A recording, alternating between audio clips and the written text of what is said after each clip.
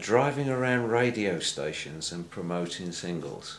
And I think, again, radio has changed. So, whereas a young radio plugger could influence a radio show and maybe get two or three plays on, on a brand new record, I don't think that you can do that anymore. So, you, you know, if we examine it as can you do this, actually you can't do it.